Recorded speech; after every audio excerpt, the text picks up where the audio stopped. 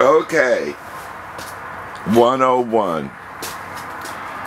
Never, ever leave a digital camera on top of your car. Why? Because you might forget it. And I did. I had two digital cameras. And I put the one camera on the car and I recorded for a little while.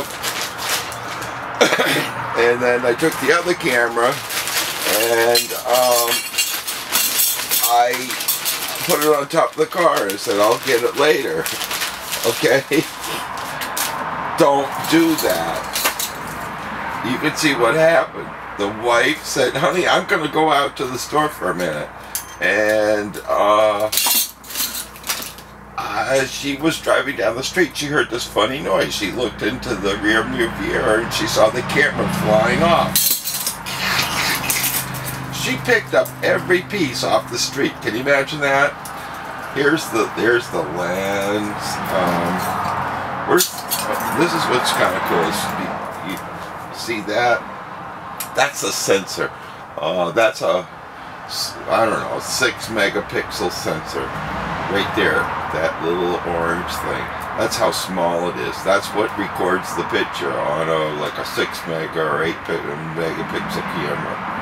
Uh, my new camera is like, oh heck, it's like sensor's almost that big. Well, it's not quite that big, but it's close.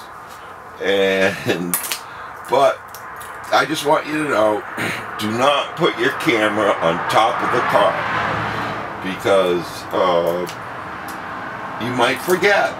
And um, I read a really funny story where a guy tied a rope around his car and climbed up onto the roof of his house so he wouldn't fall off on the other side. And he didn't tell his wife about it. And guess what?